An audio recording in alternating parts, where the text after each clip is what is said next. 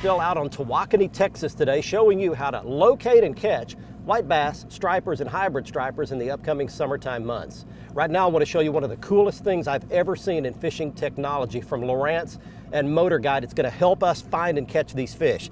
This is the brand new Lowrance HDS Gen 3 sonar GPS fish finder system. It's got a much faster processor, much brighter screen, a pinch to zoom screen, just like your iPhone or Android mobile device has, and it's got Wi-Fi built in, plus a whole bunch of other goodies, the latest and greatest from Lowrance. I've got it connected electronically with my Motor Guide Xi5 Wi-Fi trolling motor through a little gateway device. Now, these two units talk to each other, so I'm idling around out here off these humps trying to find a school of bait fish and stripers or hybrids, and I found a school right behind me. You can't see them on the screen now because I've already passed them by behind the boat. So what I'm gonna do is reach up here and tap the sonar screen to get control of it. Then I'm gonna scroll it back. Okay, there's that school of bait fish and hybrid stripers and maybe some stripers mixed in right there. So I've tapped it right where that school is.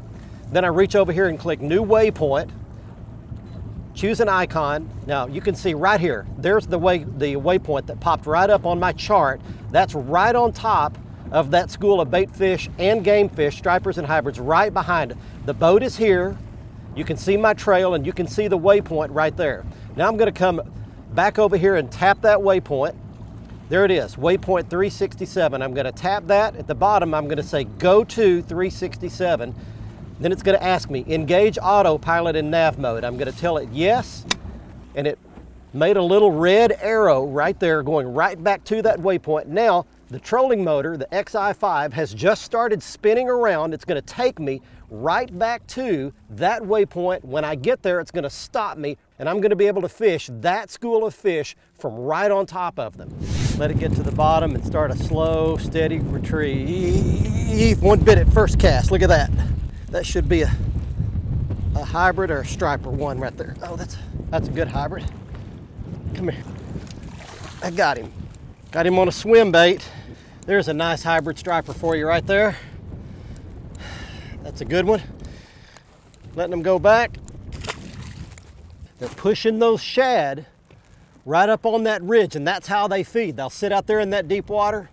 They'll run those shad up on that ridge. They'll feed, eat a whole bunch real quick and then they want that access back to that deep water. So you want to imitate something that'll look like a big shad, either a big thread fin or a gizzard shad.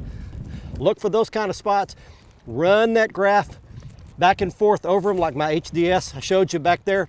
That Wi-Fi trolling motor, the Xi5 Motor Guide trolling motor is an unbelievable advantage. Just put it in the water, let it go to that waypoint where we mark those fish and immediately hooked one up. What a cool, cool deal.